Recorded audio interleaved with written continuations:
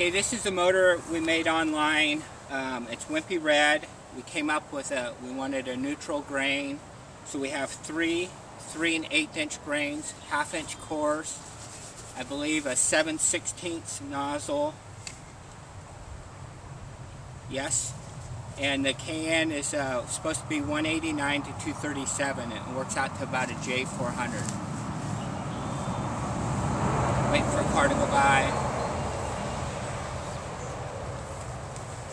And then um, we'll stick this in the ground, we'll move the video camera back a little bit, and um, we'll, we'll tape it. One thing is keeping accurate notes of everything you do so that you don't have to go back and try and figure out. The older you get, the more sense that makes. And after we test this one, I have a couple more of a formula I'm working on. So we'll go ahead and um, stick this one in the ground. And uh, we'll light it. Five, four, three, two, one.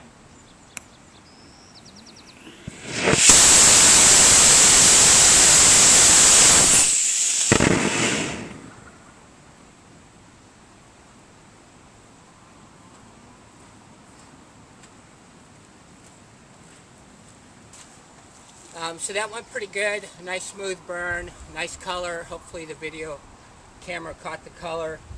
And um, it's pretty easy to do using an existing formula, understanding what that formula likes to run, having all the numbers for the formula, using BurnSim or ProPep, understanding grain geometry. You don't need a mixer, you can mix things by hand, and um, it's pretty self-satisfying. I have a couple more motors to test and after you get started in EX for a while um, there's the chemistry aspect of it and I've been working on a formula that I want to have a, a better ISP than swamp gas I want it to be well behaved and um, stuff and so I've been playing around with things. One chemical that slows things down and helps ISP is oxamide. It's pretty pricey per pound. And so uh, last time I tested, I tested a motor that had 3% baking soda in it, thinking that the baking soda puts out fires, maybe they'll slow it down. I thought maybe I was the first one to try that. And as it turns out, there's already a guy that's um, made a formula with that.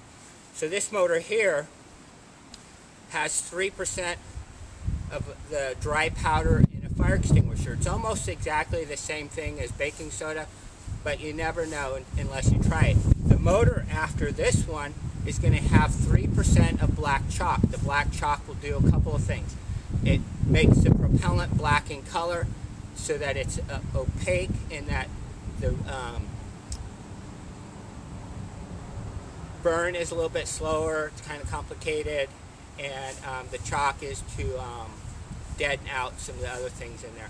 So it's an interesting aspect. is the chemistry involved of what makes what do what, taking things out, putting things in, and changing the burn. So we'll go ahead and test this one if you want to stick around.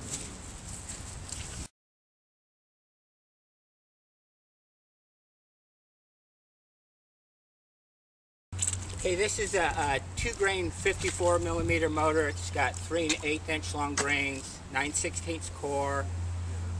Um, I don't have the nozzle size, but the KN is 198 to 239. And what this has in it is 3% uh, of the dry powder from a fire extinguisher in there, and I'm trying to slow it down.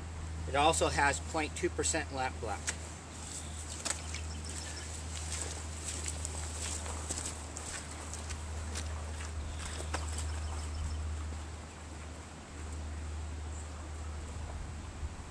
Going in five, four, three, two, one.